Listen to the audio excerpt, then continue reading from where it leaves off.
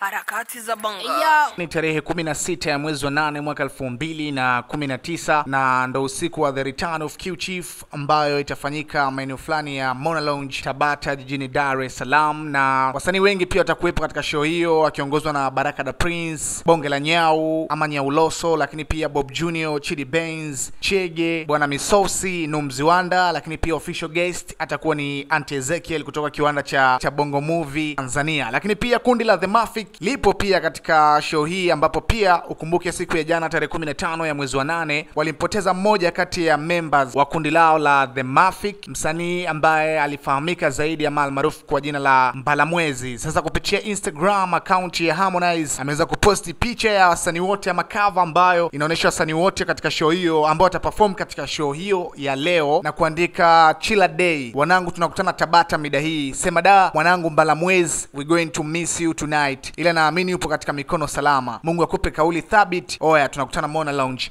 Aliandika hivyo Harmonize kupitia Instagram akaunti yake akihighlight kukosekana kwa Mbalamwezi ambaye amefariki dunia siku ya jana, na kifo chake bado ni utata mpaka sasa hivi, kwani bado haijatoka uh, ile kauli ya kwamba ni, ni kitu gani ambacho kimesababisha kifo chake Mbalamwezi. So tunaongea mengine kwamba Mbalamwezi kama leo angekuwepo, basi angekuwa na yeye ana perform katika The Return of Q Chief, ambapo tayari ametoa extended play ama EP ya ngoma nne ambazo pia tatu amemshirikisha Harmonize, lakini pia nyingine akiwa amefanya na msanii kutoka Uganda namzungumzia pia Eddie Kenzo ambao pia tayari hiyo ngoma imeshaachiwa pamoja na video yake. Sasa una maoni gani pia kuhusiana na hili? Harmonize pamoja na Q wanapaswa kufanya nini ili kuhakikisha mbala mwezi hususan pia ni mtu ambaye alikuwa katika list ya wasanii watakao perform katika show ya The Return of Q Chief ambayo inafanyika leo tarehe 16 mwezi wa 8. Ebana, bana, comment section hapo, like, share, lakini pia usiache kusubscribe ili uweze kuwa wa kwanza kupata story zote ambazo zina come up right now.